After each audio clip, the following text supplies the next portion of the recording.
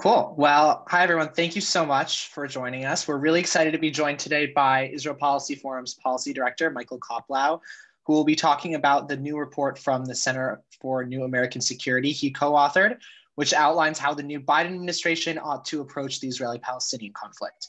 And I'll put a link for the study in the chat in a second so that you guys can check it out if you haven't yet.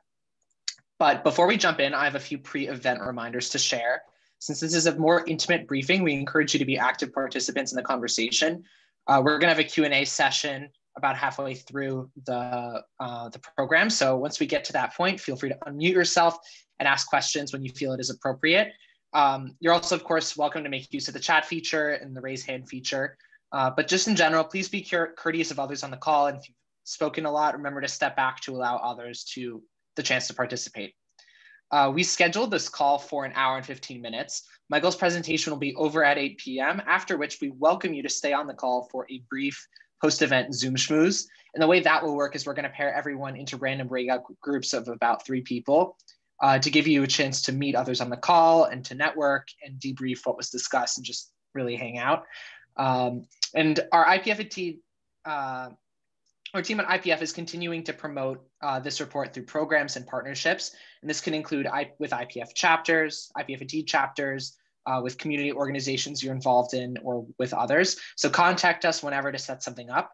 Um, and with that, I would like to welcome Michael and turn it over to him. Okay, thank you, Alex. Uh, good to good to see everybody. I, I know uh, I know most of the people on this call.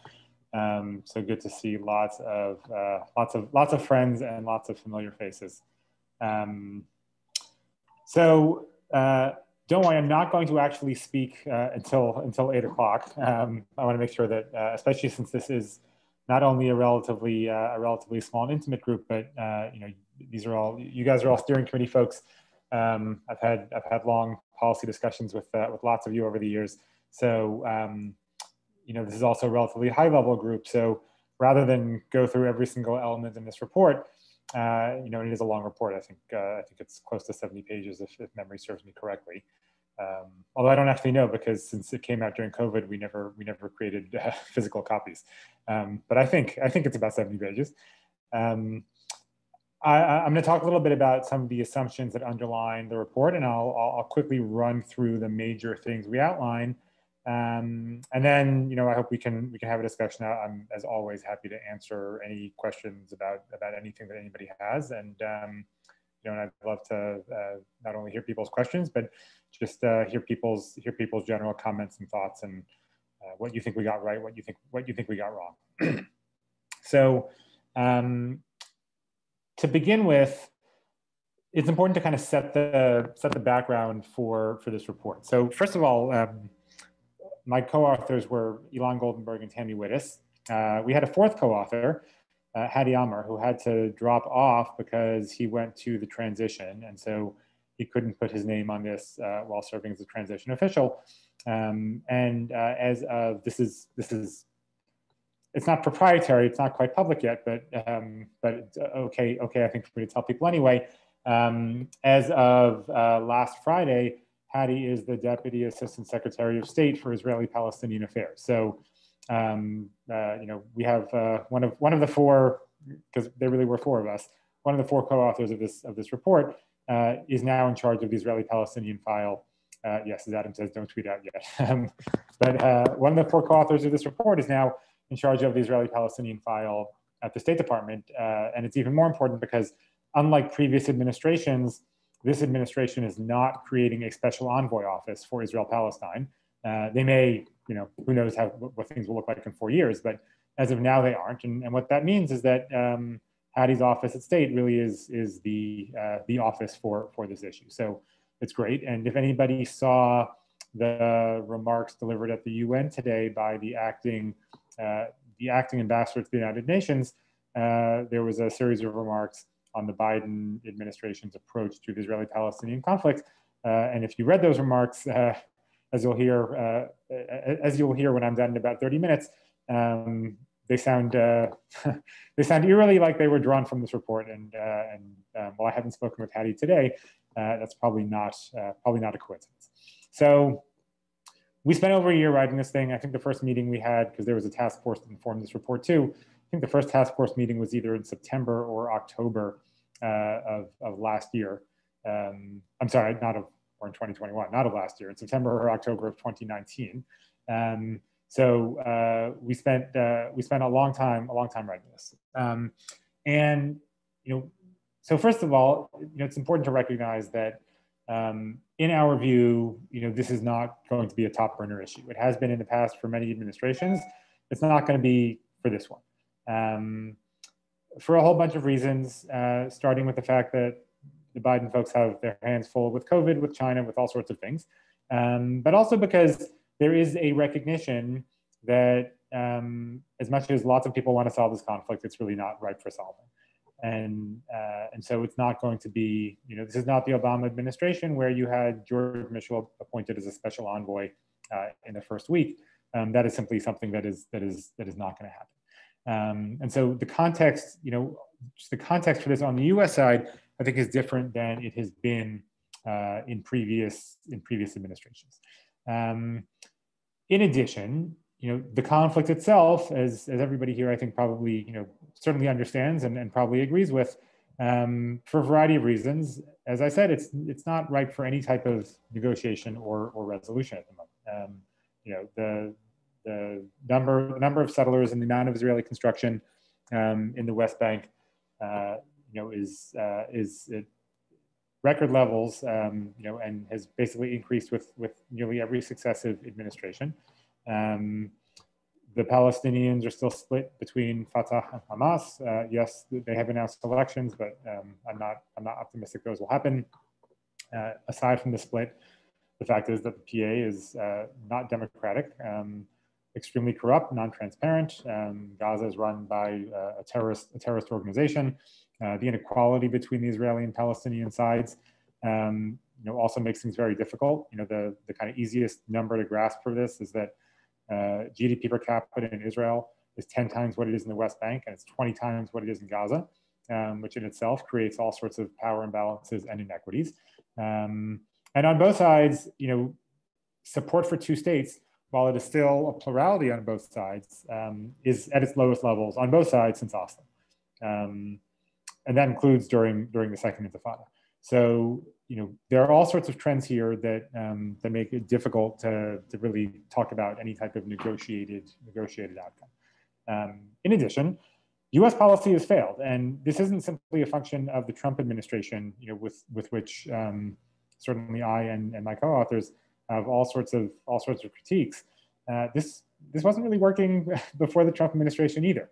Um, the Obama administration uh, made all sorts of missteps and ultimately was not able to get the two sides any closer together. The same goes for the uh, W. Bush administration. The same goes for uh, the Clinton administration, which you know obviously um, was there for Oslo. I wouldn't say oversaw Oslo because that really happened kind of outside of outside of uh, U.S. the U.S.'s uh, U.S.'s purview until the end. Um, but you know, President Clinton tried very hard at Camp David and it didn't work and resulted in the second intifada. This is, this is not something um, that any of us are, are laying uh, simply at the feet of the Trump administration. US policy on this has been broken, uh, or if not broken, certainly ineffective for a long time. Uh, and what has happened is that as the US has failed to make any progress, and as Israelis and Palestinians have really grown farther apart in terms of their positions on how to resolve the conflict, um, you know, things on the ground have, have gotten worse. And so the, the sort of the, the thesis statement to the extent there is one of this of this report um, is that focusing on high profile diplomatic initiatives at the moment is is is a bad move. It's bad policy. It's the wrong way to go. Um, a because it won't be successful and b because when you focus on high profile diplomatic initiatives what has tended to happen is that everything else gets ignored and so the actual day to day for both sides uh, in different ways gets worse while we sort of brush things to the side and overlook all sorts of things and, and just go for that ultimate deal um, that is really at the moment not attainable. And so, you know, what we're really calling for is, is for the United States to take tangible steps, um, both on the ground and, and diplomatically, uh, to do a bunch of things. Um, first and foremost, uh, to create, uh, create and secure stability um, and prevent conflict not only for uh, the people living uh, in Israel and Palestine, but for US partners. Second, to promote freedom, security, and prosperity for everybody living between the Mediterranean Sea and the Jordan River, both now and in the event of a final status agreement down the road. And third, preserve and advance uh, the idea of a negotiated two-state outcome um, and do things to, to lay the groundwork for that to eventually uh, be achievable. And so with those three objectives, we basically have three buckets in this report that we that we're recommending, and I'll and I'll run through some of the policies uh, in, in, each of them.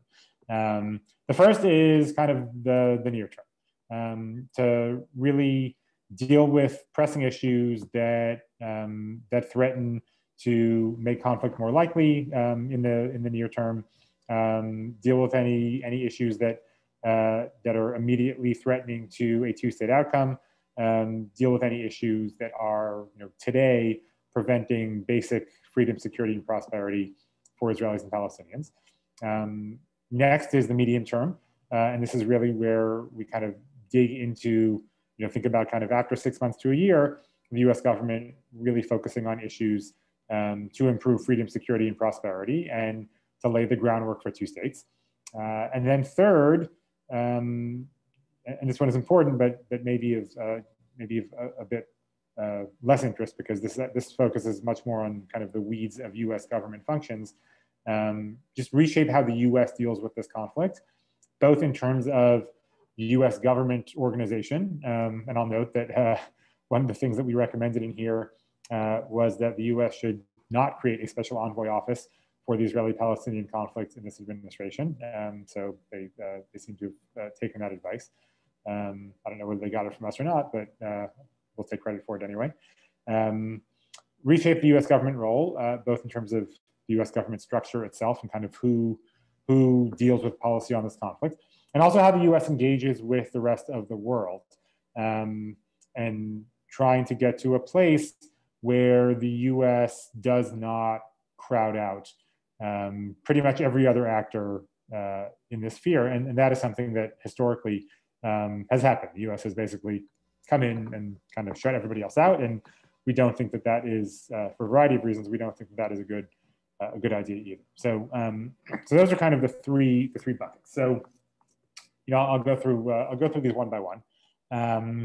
So, you know, the first bucket, which is, as I said, kind of the, the immediate term and, and really addressing any big issues that, that uh, threaten progress, that um, threaten changes on the ground right now. So, um, and these aren't, by the way, laid out in, in sort of order of priority. They're, they're, the, the order is the order is kind of kind of random. Um, but I'll start with uh, the one that happens to be first is actually a good one to start with because, uh, as I said, um, the, the acting ambassador to the UN gave a series of remarks today um, where he basically uh, backed up what I'm about to say, which is number one, um, laying out, returning, I should say, to a bunch of core principles um, that the US uh, has held for decades that the Trump administration um, in, in different ways either downplayed or threw out entirely.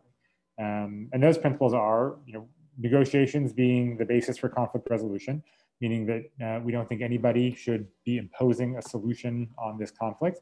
Um, you know, and that includes, uh, that certainly includes Israel trying to, uh, through annexation, um, impose, uh, impose its own borders and, and, impose some sort of uh, final status on the conflict uh, that is not negotiated between the two sides. Um, supporting freedom, security, and prosperity for for everybody right now, basically improving the situation on the ground. Again, out of recognition that negotiations right now simply will not work.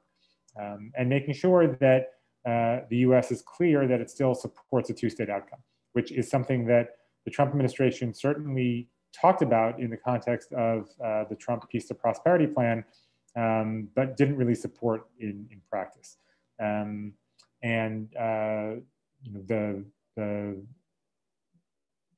acting ambassador to uh, to the United Nations today, um, you know, talked about uh, you know he, he talked he talked about these uh, in some ways in, in almost identical language and in some ways uh, with a different uh, with a different spin. Um, but if you read what he said today, um, you know, what he said was under President Biden, the policy of the U.S. will be to support a mutually agreed two-state solution.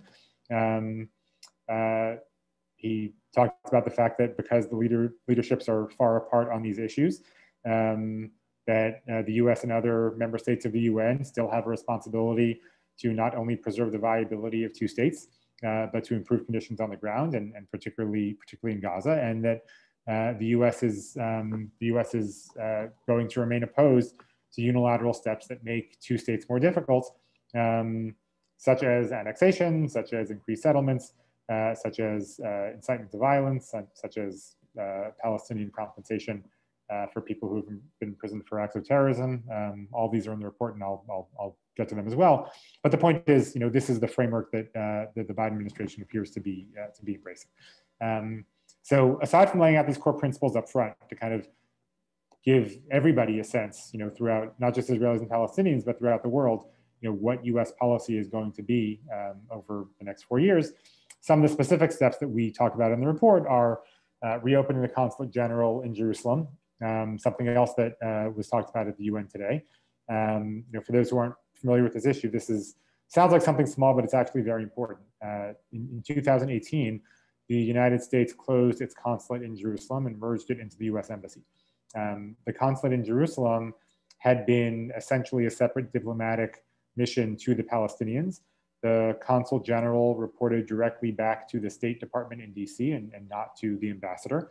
Um, and once uh, the consulate general was closed and merged into the embassy, um, A, Palestinians stopped engaging with the US consular services almost entirely because um, they did not want to have to go through the embassy. And they didn't want to be treated as simply an outgrowth of Israel. Uh, and B, it sent a really bad message with regards to states because when you're saying to the Palestinians, we are only going to deal with you through the context of the ambassador to Israel. Remember, the, the ambassador to Israel did not then get, you know, the increased title of ambassador to Israel, the West Bank and Gaza. Um, so when you say to the Palestinians, you know, you, you, we are dealing with you uh, through our represent, representation to Israel, and you know, we're only going to have one address for everybody um, that is as clear of a backing for one state as exists. So, you know, just from you know, leaving the logistics of it aside, uh, it's really critical to reopen the consulate general just from an optics perspective to, to resend the message that we're committed to two states. Um, we also call in the report for reopening the PLO mission in DC, which the Trump administration closed as well. Um, you know, I'll tell you that that one is almost, um, if it happens, it's going to take years. That's, that's actually not a very easy fix as a result of congressional legislation um, that makes it uh, that makes it difficult to reopen it, as opposed to the consulate general, which um, in Jerusalem, which there are some hurdles, but it's but it's far easier. Uh, but we do call for the PLO mission in DC to be reopened as well. Uh, we call for uh, resuming humanitarian assistance to the West Bank and Gaza, uh, which includes assistance that goes to UNRWA. Um, you know, particularly on the humanitarian side and particularly in Gaza, there simply is no other way to do this. Um, the US is not well placed to provide this humanitarian assistance directly. Um, and no other party is no other party is either. Um, and also because of U.S. legislation, um, you know, where we can't spend any money that directly benefits the Palestinian Authority, uh, one of the quickest and kind of simplest ways to restore humanitarian assistance is to is to run it through UNRWA. Um, you know, irrespective of, and you know, I'm happy to talk about this too. You know, if people want to delve into it more, you know, certainly there are problems with UNRWA, but um, you know, once you're talking about uh, getting humanitarian humanitarian assistance restarted, there really is no there really is no other address at the moment. Um, you know, we also would like to see uh, a focus on just improving quality of life um, in the West Bank, but particularly in Gaza, uh, in terms of freedom of movement, in terms of electricity, uh, water. We kind of delve into all these issues in, in pretty pretty good depth in the report. Um, reforming uh, the Palestinian prisoner payments and martyr payment system is critical. Um, it's critical, A, because in a lot of ways, that is actually what has to happen in order to remove or amend legislation that prevents opening the PLO mission in DC. But you know, more importantly, it's it's a real issue. Um, it's something that you know is not only a big issue for the U.S. Congress. You know, the Taylor Force Act, which was directed at, uh, at martyr payments, passed with enormous bipartisan support. Um, it's a real ongoing issue for the Israeli government and for Israelis. And you know, it's something that um, we at IPF, you know, now putting my IPF hat on for a second, you know, we've never swept under the table, um, and it shouldn't be swept under the table. And uh, it's really critical for the Palestinians, and they are they finally do, I think, understand this. Um, it's critical for them to address this. Um, it's critical just the, for the message it sends, and it's critical um, because of the actual uh, substantive ramifications of keeping the policy in place. So, um, you know, it is important that that get, that, that get reformed and that, that get addressed early on. Um, you know, we also call for uh, making it clear that the U.S. is not going to support any annexation of the West Bank. Um, and we also uh, make clear that the U.S. should set some early red lines um, when it comes to uh, when it comes to settlements. Um, it doesn't mean it doesn't mean demanding a full settlement freeze. The Obama administration tried that and it didn't work. And you know, all of us uh, who co-authored this report are of the view that um, that was that was a mistake.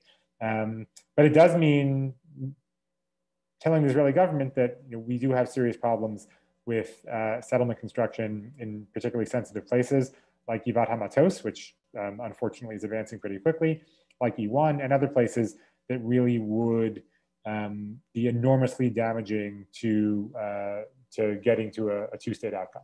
Um, and then, uh, you know, some of this, uh, some of this falls under that first bucket as well in terms of core principles, but reaffirming some just very basic previous U.S. parameters uh, on borders, security, refugees, and, and Jerusalem, stressing that um, you know these are going to have to be negotiated between the two sides, but that the U.S. does support um, an independent Palestinian state on the 67 lines uh, plus land swaps. That uh, that the U.S. does support um, very strict restrictions on uh, on Palestinian militarization for Israeli security purposes. That the U.S. does support finding some sort of uh, just solution to the refugee problem, um, and that the U.S. does envision eventually uh, Jerusalem as being the capital of two states not putting out, you know, not putting out a, a, a, a U.S. peace plan like the Trump administration did, and not trying to get the two sides back to negotiations, but just putting the U.S. back on record that these traditional parameters that were the U.S. position under President Clinton, under President Bush, under President Obama,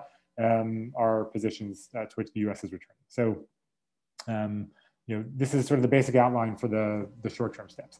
Um, then we move to bucket number two, which is medium-term steps to preserve the viability of two states. And you know, again, these are things that um, would be great to see progress on, but you know, they come after addressing uh, these first immediate problems that I already talked about. So, um, you know, and these are really almost all aimed, uh, as I said earlier, at, at, at, this principle of improving freedom, security, and prosperity for both sides, uh, and really trying to lay the groundwork for two states.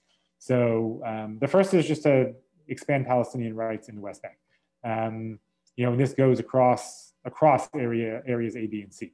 Um, you know, in much of the only difference between Area A and Area B, because uh, the Palestinians have administrative control in both of both of both A and B. The difference is that in Area B, uh, Israel has security control. Um, but you know, and, and, probably many of you have heard me talk about this before. You know, because there are no Israelis living in Area B, um, and because the PA has administrative sovereignty there, when we talk about Israeli security control in B, the Israelis, understandably, really only care about security in, in so much as, as it impacts Israelis. Um, they're not there to do basic policing. Um, and as I said, that's understandable, but there are also a million Palestinians living in Area B and zero Israelis. And so when you have full security control there, but you don't actually care about policing, you only care about um, things like counterterrorism, you know, it, it just creates uh, a huge problem and also enormous inequities for the Palestinians who are living in Area B. So, you know, there, there are different ways to solve this. Um, probably almost all of Area B, you know, really could be turned into Area A. Um, even if you didn't want to do that, there are ways, and, and um, IPF has put out uh, independent reports on this. Um, there are ways to uh, allow Palestinian police to move much more freely through Area B so that you can provide uh, regular policing to almost all the Palestinians living there. But you know, the point is working to uh, working to alleviate some of these issues, and then particularly in Area C, you know, where is Israel has full control, uh, but you still have 300,000 300,000 Palestinians who live there. You know, Area C has, has a bunch of real problems. Um, to my mind, the biggest one uh, is the permitting and demolition system where Palestinians simply do not get permits uh, from uh, the IDF to build in Area C. Um, when I say they do not get permits, you know, it's on the scale of um, there has not been one year since 2009 where uh, the Israeli government granted even double digit permits to Palestinians to build uh, in Area C. Um, across 2014, 15, and 16, the last three years of the Obama administration, a grand total of one permit, one building permit in three years was given to Palestinians in Area C. Um, in 2019, uh, the Israeli government announced that it was approving hundreds of permits, uh, building permits in Area C for Palestinians, um, largely to offset uh, a huge number of plans uh, for Israelis that they approved uh, in Area C. Uh, it turns out that a year and a half later, um, the estimates are that I think of those, it was something like 700 permits they announced they were going to approve. Uh, it turns out that um, that uh, fewer than 20 actually uh, actually were granted. Um, actually, I think the number might have been might have been. They're not sure if it's either nine or 17 off the top of my head. Um, the point being that it's impossible functionally uh, to get a permit if you're a Palestinian in Area C. Um, and what happens is that all of those structures that Palestinians then build anyway, because they can't get permits, have demolition orders on them. And so you have, uh, at this point, um, at the moment, just north of 11,000 active demolition permits on Palestinian structures in Area C that impact almost 200,000 Palestinians.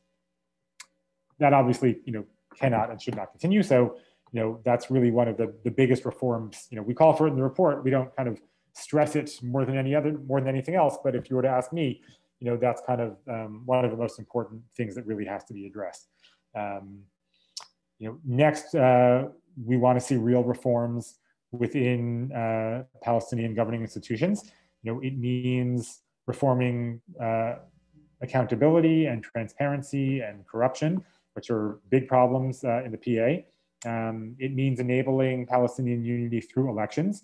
Um, and it means, from the US perspective, not standing in the way of Palestinian elections if they manage to pull them off. You know, right now, the Palestinians, uh, two weeks ago, they announced a plan for elections where uh, it's going to be in three rounds. First, there's going to be Palestinian Legislative Council elections. Uh, then you're going to have uh, presidential elections, and then finally you're going to have uh, Palestinian National Council elections, which is the which is the PLO. Um, I am I'm very confident that um, that we are not going to see all three rounds of elections. Um, I'm not I'm not sure that we're even going to see the first one. Um, but in the past, the US has, uh, in some ways, acted as a brake when Palestinians have talked about elections because we're still kind of burned from supporting Palestinian elections in 2006 uh, and having Hamas win legislative elections. Um, ultimately, you know, Israeli prime ministers, you know, not just the current one who uses this more as an excuse, but uh, you know, Olmert as well, who really was serious about this. Um, Israeli prime ministers have talked about the fact that you know why should we negotiate with the Palestinians when we're really only negotiating with half of them, right? You, if you're negotiating with Abbas and the West Bank leadership, you're completely leaving out Gaza and uh, and Hamas, and you know that ends up being nearly 50% of the Palestinian population, leaving you know forget about the fact that it's a you know that it's a separate territory. Um, so Palestinian unity is something that you know will benefit the Palestinians and ultimately will also benefit uh, will benefit Israel in terms of there being one unified address for problems and for complaints and for eventually negotiations. Uh, and so, you know, the U.S. shouldn't stand in the way of that. Obviously, there are some rules of the game that have to be uh, that have to be respected, um, including uh, abiding by any past agreements that the PLO has agreed to, and uh, including um, including uh, uh, abiding by a rule of of forswearing violence. Um, you know, we don't think that it necessarily means that Hamas has to disarm right away, but they have to agree not to use those guns. Um, but you know, standing in the way of Palestinian unity has not really worked for uh, for the U.S. as a policy, and and you know, we want to make sure that if the Palestinians are actually uh, at the point where they can kind of achieve it, uh, that the U.S. does not stand uh, does not stand as a as a barrier. Um, next is tackling the problem of settlements. You know, aside from aside from what I said earlier, kind of putting red lines on, on the really uh, on the really most damaging ones. And here, you know, we recognize that there are lots of different approaches. we had a task force of about uh, somewhere, I think it was about 40 people, somewhere between 40 and 50 people, other experts um, that we convened as part of this process. And we had, you know, um, probably close to a dozen task force meetings before we actually sat down, just the co-authors to write the report. Um, and there were a few issues, uh, and ultimately, because a lot of these issues, you know, there was just no agreement in the task force, we ultimately issued the report only under our three names, uh, Ilan, Tammy, and, and me. Um, initially, our hope at the very beginning was that we could issue this report uh, and have you know most of the task force sign on. There were a few very very contentious issues within the task force that kind of split it in split it in two.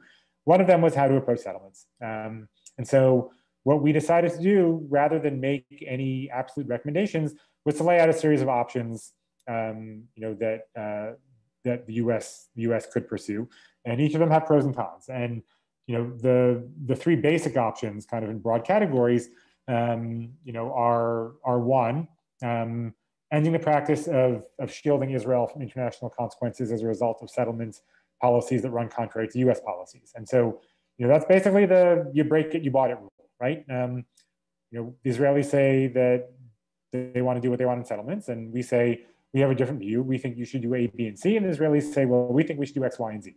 So we don't think it's our view to put sanctions on the Israelis or you know dictate to them you must do this, or if you don't do it, we're going to condition assistance. Those are not approaches that any of us uh, advocate for um, or support.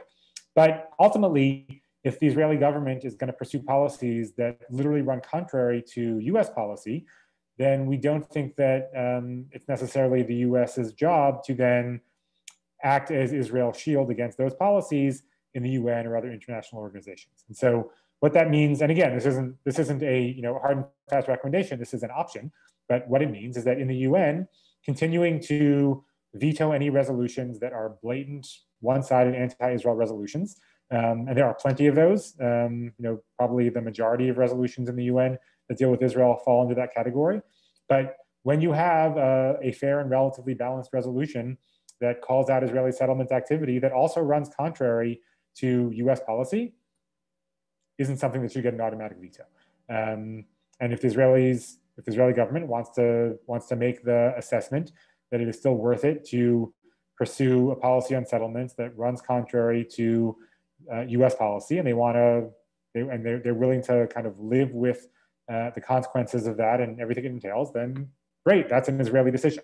Um, but we don't think that the U.S. needs to continuously go to international institutions and spend lots of time and political capital protecting Israel from policies that actually run contrary to our own ones. So that's option number one. Um, option number two is to pursue a very clearly defined partial settlement freeze. So as I said before, we don't think that the, the full settlement freeze that the Obama administration asked for worked. Um, we do, you know, for a whole lot of reasons, but one of the biggest is that th- that's just not sustainable in the context of Israeli of Israeli politics, and frankly, it's not even productive in the sense that you know there are areas, um, particularly in in five large blocks along the Green Line, that are going to be part of Israel in a negotiated solution, and so it doesn't really make sense to kind of expend this huge amount of capital and fight with Israelis and say you've got to freeze building in um, you know in in uh, Gush Etzion when ultimately that's not going to do anything that really erodes uh, a potential two-state outcome. So um, we talk a little bit about in, we talked a little bit in the report about uh, you know what we think a partial settlement freeze should look like. Um, you know, it's and it's not just there. There are some organizations, uh, including our friends at Commanders for Israel Security, um, including the Institute for National Security Studies in Tel Aviv, that have talked about a partial settlement freeze beyond the barrier. We actually don't think that's enough. We think that it's important to also focus on places inside the barrier because some of the most sensitive places, such as Givat Hamatos uh, or E1, are inside the barrier. So just saying freezing beyond the barrier doesn't work. Um, but really, um, you know, looking at uh, a few key areas, you know, sort of beyond the barrier and some key, key areas inside the barrier and saying, you know, we would like to see a freeze in these areas. You know, build, if you build in other places, doesn't mean that doesn't mean that we like it, but you know, we'll sort of we're, we're not going to make a big deal of it, um, so long as you keep things frozen uh, in places that are really critical to a future state. Um, so that's option number two. Option number three is um, effectively doing what the Trump administration did in terms of creating a map and saying this is this is a U.S. map. Um, it would not look like the Trump administration's map, um, and basically using that as the starting point for U.S. policy on settlements. And so, um, you know, saying this is this is the map that we envision as the future territorial arrangement after a final status agreement. Um, this is the map we're going to use. So on this map, anything that is designated as Israel, we're fine with. Anything that is not designated as Israel, we're not fine with. Um, you know, that that's probably the clearest approach here. It does raise, you know, a, a host of complications, including the fact that, you know, as I said, you know, we do um, very firmly believe uh, in a negotiated solution that has to be negotiated between the two sides and putting down a US map and saying this is what we think the map will look, you know, should look like um, doesn't necessarily jive with that. Um, but this is an option that you know the US could pursue as a way of tackling settlements. Um, next uh, is uh, really focusing on supporting um, coexistence programs, people-to-people programs, um, efforts to combat incitement. Um, you know, the recent uh, Nita Lowey Peace Fund that, uh, passed and, and became law that designated $250 million over five years for these types of programs is a great a great model. It's it's one that you know that, that IPF supported. I know it's something that uh, are passionate about, and, and you guys did a lot of work on um, on lobbying on it, and you know it's it's an important it's an important effort, and so um, we want to make sure that those types of efforts uh, you know remain supported and um, and frankly go beyond just the, the Nita Lowey Peace Fund um, into uh, into other areas as well. So that's that's the bucket of uh, medium term steps. Medium term steps. Um, I'll quickly, quickly run through the last bucket. As I said, probably the least interest to, to this group because it's, it's, uh, it's, sort of more, more in the weeds on internal US government stuff. But, um, you know, as I said before, it's basically saying, you know, we don't want to, we don't want to crowd out uh, every other actor.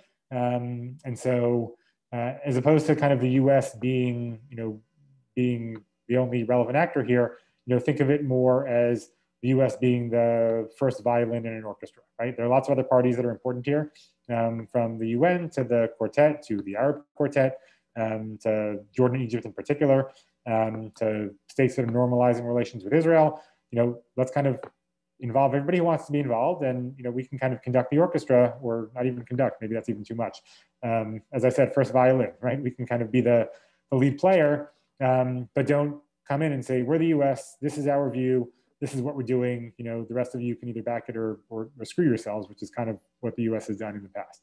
Um, you know, particularly since, as I said up top, you know, this is not this is not an issue uh, or an area that is uh, going to be the top of the Biden administration list of things to do, and so it really does make sense um, for other actors, particularly as over time other actors have gotten more skin in the game, to really uh, listen listen and involve other actors.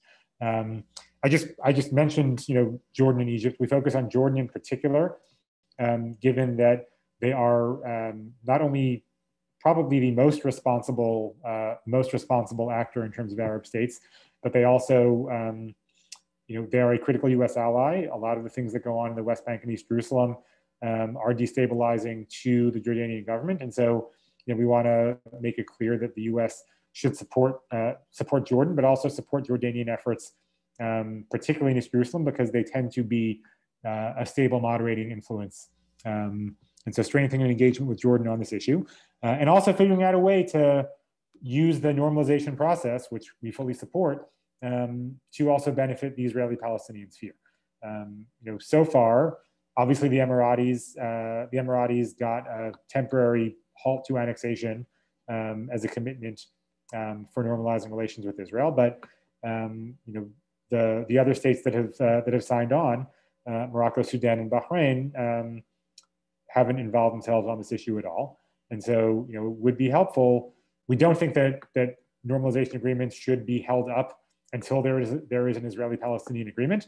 But we would like to see uh, Arab states, when they are normalizing relations with Israel, a use their newfound influence with Israel to push some of the steps that we, you know, that we talked about in, in these first two buckets, um, and also use their influence with the Palestinians, you know, to get them to engage in a more productive, a more productive manner as well. Um, so, you know, that's an important, that's an important part of it. Um, and uh, you know, third is to really, um, within the US government, instead of, as I said, having kind of uh, having the, the president or the secretary of state be like the action officer for the Israeli-Palestinian conflict, which has happened in the past. Uh, and you know, instead of having a special envoy office that basically crowds out everybody else, make sure there's a real interagency process that involves state and DoD and the NSC, and that and that policy in this area is made like policy in almost every other area is made in the U.S. government. Um, particularly since, as I said, you know, we don't want to focus on negotiations, and so it makes sense for there to be uh, a much more um, kind of stable, predictable, and robust interagency process. Uh, and then last, um, and then I'll, I'll stop and we can talk about whatever you guys want to talk about. Um, you know, we are clear that we that we think that two states is uh, remains the only viable option. We are clear that we think two states should be the policy that the U.S. government pursues. It is also clear to us um, that, and you know, remember, I'm talking right now as a CNAS study uh, co-author, um, not uh, not necessarily uh, as as IPF spokesperson. Um, it is also clear to us that two states may, at this point, not be what actually emerges, given all of the changes that have happened on the ground in the wrong direction. Um, and so, what that means from the U.S. government perspective is that while it's important to to unambiguously support two states, it's also important to do some prep work for what happens if if something else actually emerges as um, kind of the dominant uh, the dominant paradigm for this conflict. And so, um, you know, we go through a single democratic state in this report. We go through confederation. We go through uh, we go through a, a, a single non-democratic Jewish state, and you know we are very clear about why we don't think that these are good options and how they would adversely affect U.S. interests. But if you're doing policy planning for the U.S. government, you have to outline exactly how these would affect U.S. interests. You know, in what ways they'd be good, and which in what ways they'd be bad, and what how the U.S. should respond. And so um, we think that it's really important for the U.S. to do this internally. You know, not as kind of a big public thing, not as a signal that we're backing away from two states, but just as a matter of um, responsible contingency planning. So that's um, that's the report in a nutshell. Um, uh, I guess that took me like 40 minutes to do. Yeah, I guess there's, there's, no way I could have possibly done that in 30. That was uh, that was Pollyanna-ish. Um, so that's the point in a nutshell. As I said, I'm, I'm happy to happy to answer any questions or talk about anything you guys like.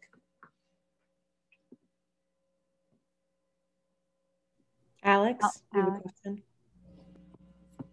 Hey, Michael. Uh, thank you for what is unsurprisingly a lot of context and information and a really clear point of view.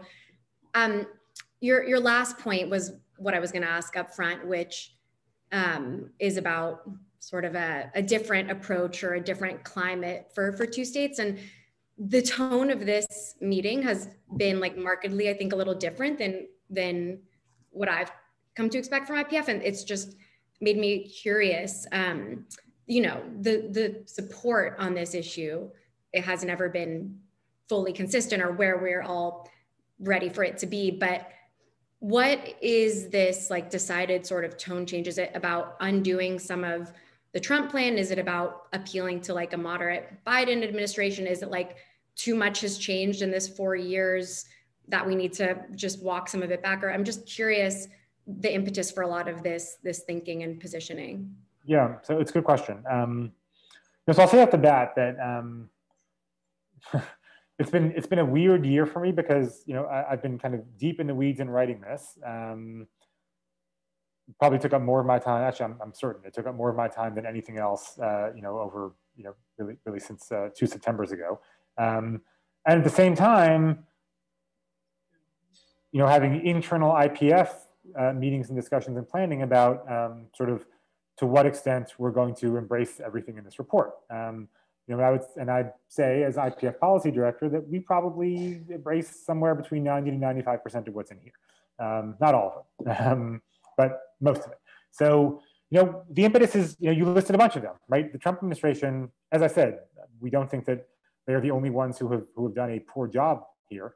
The Trump administration, you know, tried very hard to upend just the basic fundamental assumptions um, behind the conflict and how it would be resolved and how the U.S. should view it. Um, you know, let's not forget we're you know we're uh, I think actually January 28th, if memory serves me correctly, will be the one year anniversary of the Trump plan release. You know that means that we're you know not even a year out from the US government coming out and saying, hey, we support unilateral 30% annexation of the West Bank up front, um, which is a crazy position. You know, uh, everybody here has probably heard me talk about annexation because it's really all we talked about for, for three years. You know, it's an insane position for the US to take. Um, you know, and I haven't even talked in this, I haven't even talked tonight about that might actually not even be kind of the craziest position that the Trump administration advanced. Um, some of the things that they actually did, because annexation didn't happen, but some of the things that they actually did with regard to how the U.S. views the West Bank, um, you know, we're even more we're even more far-reaching and, and kind of even more striking. So yeah, part of it is that is that it, it's really clear that um, much of much of the Trump approach has to be repudiated. Um, it's also clear, as I said, that you know the focus on negotiations, and as you know, IPF so you know i've been here for five and a half years we've never pushed negotiations we've never thought that that was a good idea at this point in time um, but you know the us focus on negotiations as i said has allowed a, has allowed a lot of really really bad shit to, to go down um, because you know when we're trying to get the two sides together we don't necessarily want to do anything on either side that's going to push them away and so you know we haven't taken um, a terribly productive stance toward you know, a lot of the most damaging settlements because we didn't want to have the Israelis disengage. We haven't pushed the Palestinians on PA reform or on prisoner payments, um, you know, or on really kind of figuring out a way to get back into Gaza because we don't want to scare the Palestinians away from, you know, coming to engage. So, um, you know, that's that's been a problem too. Um, and yeah, we we determined, you know, well before Biden was the nominee, well before, you know, while, while we, we were still deep in Democratic primaries um, we determined that, um, or didn't, shouldn't even say deep in primaries, before, you know, way before primaries even, back when Elizabeth Warren was like the clear front runner back, you know, last September, two Septembers ago. You know, it was our assessment that for a whole variety of reasons, this was not going to be top of the list of any of any Democratic president. There were just too many other things to deal with, and um, you know, we that being the case, this is also not you know something that this is not this is not a plan for conflict management, right? We are not saying kind of just let the two parties stew in their own juices and, you know, we'll just kind of try to monitor things quietly from the side and, you know, they can just kind of beat each other to death and, you know, their problem, not ours. That is not what we are saying. And we want to make sure that given a lower profile on this issue and given that we don't anticipate negotiations, that there really is a comprehensive productive plan in place to not let things go off the rails and to make it clear that we do still have a view. We do still have, you know, a U.S. vision for how this gets resolved. We do we do still have a U.S. vision for what should happen day to day. Um, and so, you know, yeah, in some ways this is in some ways this is um, I don't want to say pessimistic, but it's certainly kind of a a, a hard-edged, hard-eyed view of things. Um, but it does take into account a number of realities that simply didn't exist one year ago, four years ago, 10 years ago. Um, and we're trying to take that into account. Does that, does that answer your question?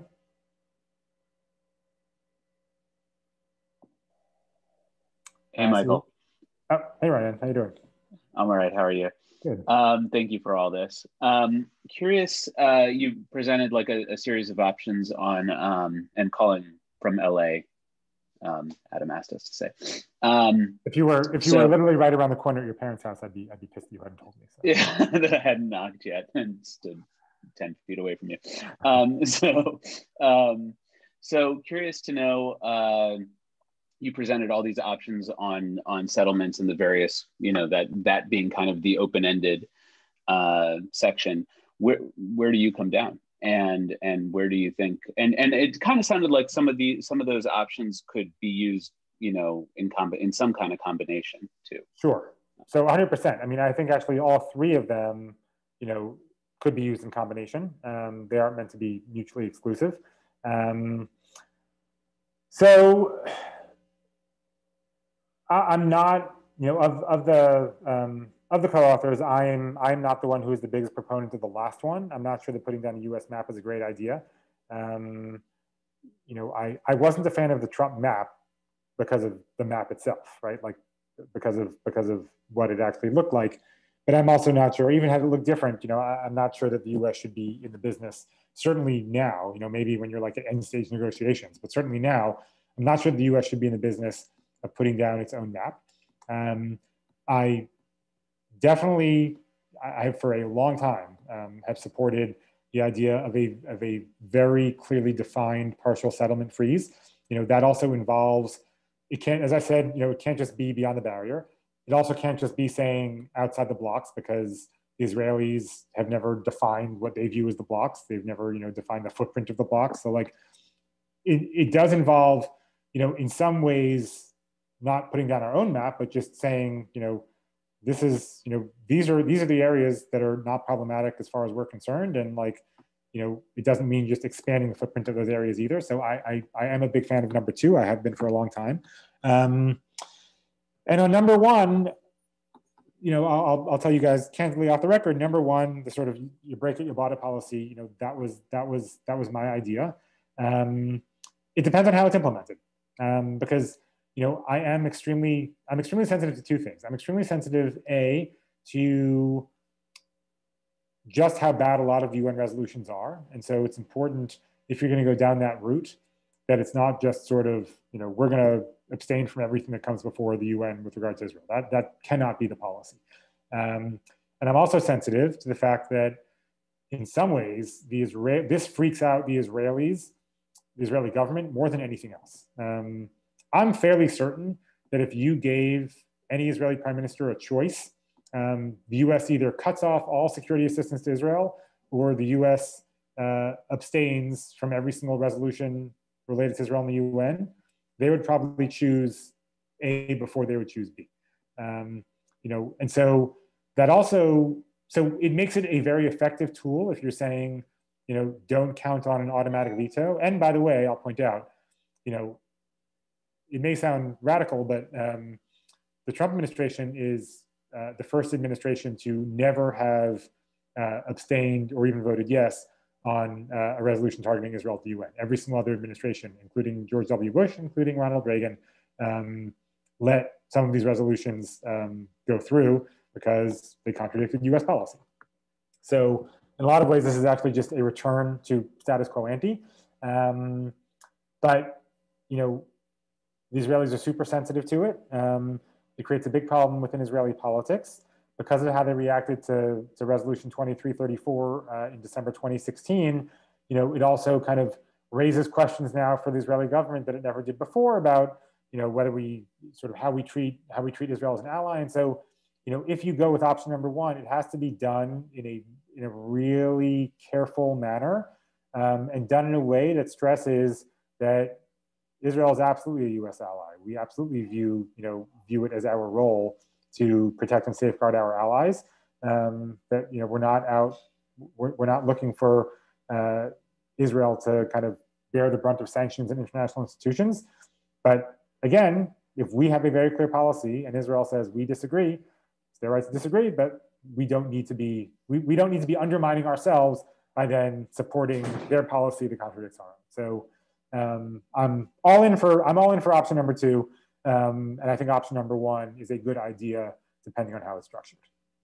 And and just a, a quick follow up on option number two, is there is there a is there a stick there? I mean, is there is you know is there consequences? I mean, uh, that you imagine that you envision, you know, if they if you were to present a partial settlement freeze, and, yeah, sure. know, so I, we I actually, feel like we've been down that road, and, and yeah, you know, yeah. yeah, it's a it's a great question. So you know, we are obviously very sensitive to the idea of, carrots and sticks. Uh, the Trump administration didn't believe in sticks when it came to Israel. Um, we actually have a uh, we have a kind of a, a two page um, two pages in the report where um, we list also a bunch of different options, uh, none of which we necessarily you know endorse or don't endorse, but although some of them we actually in this section go out of our way to say that we don't think it's a good idea. But we basically lay out all the options we think exist for the U.S. to induce uh, Israeli policy changes.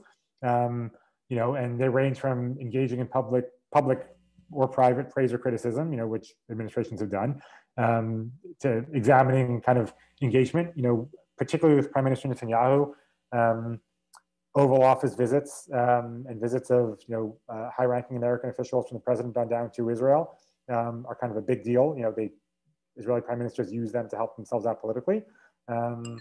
You know, kind of holding back on those or, or sending lower level officials to Israel you know, as a way to kind of make a statement, you know, that's an option. Um, you know, obviously, uh, you know, I talked about kind of changing U.S. posture in, in international institutions. Um, there is this idea of conditioning security assistance. That's something that um, IPF absolutely does not support, and we kind of go out of our way, even though we list these as different options, we go out of our way in that in that kind of section uh, to sort of reiterate why we don't think that'll be effective or a good idea, but it is an option. Um, and then there are kind of positive inducements, you know, the, the carrots, which are um, deepening security cooperation. Um, one of the things we wrote in here was uh, including Israel in more uh, in more CENTCOM activities. Um, you know, in, in the waning days of the Trump administration, Israel was actually moved out of EUCOM and to, and to CENTCOM, which I think is a good idea. Um, you know, we talk about um, uh, we talk about integrating Israel into kind of other uh, regional security arrangements. We talk about deepening strategic dialogues with Israel, more joint training exercises, increasing the amount of equipment we sell them. Uh, and we also talk about um, greater, pushing for greater international recognition for Israel as a Jewish state, something that, um, that actually has never been um, stated US policy. You know, presidents have talked about, um, uh, presidents have talked about, you know, the importance of Israel as Jewish and democratic, but it's never actually been US policy to say we support Israel, you know, Dafka as a Jewish state. And we've never really worked to kind of get others on board with that. So you know, that's another carrot we can use, assuming that Israel kind of, you know, goes along with some of the things we're asking. So a whole range of ways to try to try to get is, Israeli behavior um, to shift in ways that you know we'd like to see it shift. Some are some are carrots, some are sticks, and and you know they're to different they're, they're to varying degrees. Um, but there, there is a whole range of options that, you know, in the US toolbox that we can use. Thanks, Michael. I think we can take one, maybe one speed round if that's okay. And if there are some handful of questions left, Michael. So you want to just raise your hand if you have a question and I'll quickly say, uh, looks like we'll go uh, Rachel and Jonah. And then uh, for folks who want to stay on, it would be nice to do some breakout rooms just for 10 or so minutes. So let's hear Rachel and then Jonah, and then uh, and then we'll wrap uh, into the next portion. My question is actually pretty short because it's very in the weeds. Uh, I was really intrigued by the suggestion of having a universal welfare system put into place to replace the prison payment system that's currently in place. It seems almost elegantly simple, and would actually resolve a lot of issues, not just that initial issue. So I'm curious, what are the barriers to doing something like that? Is it distribution? Is it funding? Is it, I guess, government itself? Like, what are actually the physical or, I guess, logistical issues with doing that? Um, Adam, do you want me to answer that quickly, or do you want? you Should we take? Uh... Let's go to Jonah and David Harari also, and we'll see how how your memory is, Michael. It's usually pretty good. Thank you. Uh, thank you, Michael, for your presentation. Uh, my question has to do with uh, some of those medium term steps. Like you said, like casing into a two state solution right now isn't realistic and whatever Israeli government comes next probably won't have the political will to go that far anyway. But I think I've heard you say that there are some members in the Knesset, even right wing, who will agree to maybe some concrete steps of separation, maybe the ones you were alluding to, like giving the Palestinians more control and contingency between areas B and C. So I'm wondering if you could like uh, uh, give us some insight on maybe some uh, members of the Knesset you've spoken to who may not say they support a two-state solution, but based on your conversations, have said they may support some of the policies that you suggest in the report. Thank you. Go for David. You're good, David. Michael, your report cites the Lowey Act and people to people partnerships being a right step forward. How do you think the $250 million aid package will be to help build long-term foundation for security for Israelis and Palestinians? Thanks. Okay, so um, Rachel, on, on Palestinian prisoner payments, yes, the obvious way to do this is to create a social welfare system um, for all Palestinians. Some of the problems. Um, a, the Palestinians, you know, as I said before, Palestinian governance is, is awful. Um, and so, you know, there's a question whether they actually have the capacity to, to get a system up and running like that, um, you know, certainly quickly. Um, B, there's going to be resistance on the Palestinian side uh, politically um, within Palestinian society, just given uh, given the role that prisoners play, um, you know, they are sort of the, you know, literally kind of the, the top of the heap uh, of Palestinian society. And um, there's going to be pushback at this sense that prisoners uh, are not going to be treated, you know, kind of extra specially, right? That they're just part of a general welfare system. Um, and as they see, on the Israeli side, and probably um, here too, uh, you know, in, in uh, Republican circles in Congress, there's going to be a position that says, you know, if any, if the family of any prisoner or any martyr family gets even, you know, one, gets even 10 agorot, then, you know, that's too much, right? That they shouldn't be getting anything. Even if you create a social welfare system, they should be barred from it. Um, and so that's, you know, that's going to be a problem too. Um, and I think that from a US perspective, it's going to be important to figure out what is acceptable uh, in terms of, you know, US policy and then evaluating what the Palestinians do based on that, and then saying, you know, there may be Israeli objections, there may be Palestinian objections, but this is sort of what we need. And you know, if, if we see it meeting our standards, you know, then then we're prepared to make changes in U.S. legislation, recognizing that you know there has been real reform. But I think those are probably the biggest the biggest hurdles. Um, Jonah on uh, on the question um, about uh, folks in the Knesset. So you know, someone like Yair Lapid, who isn't really out there talking about two states, you know, someone like him supports a lot of these measures. Uh, in the past, Avigdor Lieberman has supported um, some of the some of the steps to make things uh, to make things a little better in the West Bank. Um, when Bogie Ya'alon was defense minister, he was also in favor of some of this stuff, um, particularly you know when it comes to um, giving Palestinians uh, kind of better autonomy, a little a little more freedom of movement in Area B. Um, Unfortunately, in Area C, which is where th these things are the most important, you know, that's where the temperature has been raised over the last few years. If you've kind of paid attention to right-wing folks in the Knesset, um, particularly someone like Tzvi Hauser, who uh, is coming off a stint chairing the Foreign Affairs and Defense Committee, his kind of pet issue was talking about um, the Palestinian war to, to conquer Area C. And so, you know, one of the reasons that like permits and demolitions have, have gotten even worse um, is because there's this, there's this idea out there in Israeli right-wing circles that the Palestinians are trying to take over Area C and we have to defend Area C. Um, so, you know, these things which were, which, you know, some of them which, as you know, IPF has been talking about for five years, you know, they were hard five years ago. Some of them are even harder now, particularly with regard to the, the Area C issues. Um, so there is still, you know, some constituency for it uh, in, inside of kind of the centrist and, you know, right of center Israeli circles, but unfortunately at the moment, not a whole lot. Um, David, on the question about uh, the, the Nita Lowey Fund. Um, so, you know, the way this relates to security, I think, um, you know, in my view, is that obviously you can put security arrangements in place, you know, that deal with uh, the IDF and PA security forces and, and, you know, border arrangements and, and checkpoints and smart fences and whatever else it is. Um, at the end of the day, as we all know, um, even with a you know separation and a two-state outcome, Israelis and Palestinians are still going to be very intertwined, right? Their economies are going to be intertwined. You're still going to have, you know, hundreds of thousands of Palestinians coming to Israel every day to work. You're going to have Israelis who want to go uh, visit sites in the West Bank. Um, you're, you know, depending on how things work out, you may even have Israelis living in the West Bank, you know, in the state of Palestine. Um, if there is not basic people-to-people programming and basic acceptance of each other at just, you know, at a, at a basic human level, um, you're never going to have real security. Um, you, you cannot have these two peoples who, even if they do separate and have two states, are still living side by side and sharing a very small piece of land. Um, you're never going to have anything approaching real, fundamental, personal, ongoing, day to day security without fostering connection between peoples and without fostering greater understanding uh, on both sides of the other side's narrative and, and kind of making sure that um, Palestinians and Israelis see each other and encounter each other and view each other as humans and not just as you know the monsters who live on the other side of the, the separation barrier.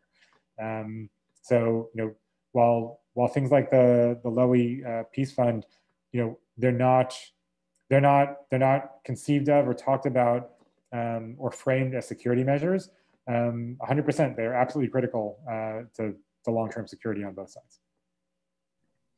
Wow. Pretty good, Michael. As always, I'm All right. impressed. And uh, Uh, we can do this again. Thanks, Adam. Uh, thanks, everyone. Great, great to see all of you. Um, if anybody has any other questions that I didn't answer, or anybody wants to, you know, chat about the report, uh, chat about the report more, um, I'm always happy to talk to uh, to any and all of you. Um, so uh, thanks, guys, and enjoy enjoy the rest of your evening. Great. There's a couple uh, final notes from me, and then for folks who do want to stick around just for a couple more minutes to kind of have some human connections, we're happy to use this as a platform to do that. Uh, especially because we have some new faces here, including some new new steering committee members. But um, this webinar tonight uh, did serve to also actually culminate what we called our 2020 About IPF policy series, which was uh, designed for steering committee leaders in IPF Atid chapters and specifically our new new chapters in San Francisco and Boston. So we'll be uploading this recording to that private webpage that um, is joined by the other parts of the series. And as a reminder, we're, we're, we're going to be continuing to put on programs like this for this new report for our community. And so um, always be in touch if you think this is a, a discussion that should meet new new audiences and kind of in that vein, we spent a lot of last year doing a lot of listening to our community, listening to our IPF Atid leader leaders through our survey and focus groups.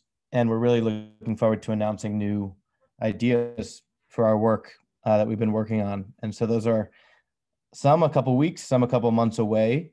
Uh, but to give you to, to peel the curtain back a little bit of what we've been working on with the National Council, we have a new powered by IPF Atid fund uh, that will help provide funding for ATEEDNIC leaders to put on programs uh, for your communities that are a bit more lay leader driven, uh, similar to what we do with our Charles Bronfman conveners, but looking to extend that uh, to all of our Atid leaders. Uh, we're also considering a new Hevruta Connections networking program initiative, which will uh, again help people network with other young professionals across our community, because we really do think we're we're lucky to have so many really cool, impressive young professionals from all corners of North America. Um, those are just a couple tastes of, of what's to come. Um, and so we're looking forward to, to when we can announce those and also potential opportunities to be thought partners for us as we kind of pilot new ideas. Um, but that's hopefully was a quick rundown. Um, and uh, I think we're going to go into some breakouts in groups of two or three. If you'd like to say hi, we, we really don't have much structure for it. Just if you'd like to debrief what you heard, really just say hi, make it l'chaim. Uh, we've been we've been doing Zoom schmoozes, so uh, there's a handful of us left. So maybe we'll do a couple groups, and uh, we'll see you guys later.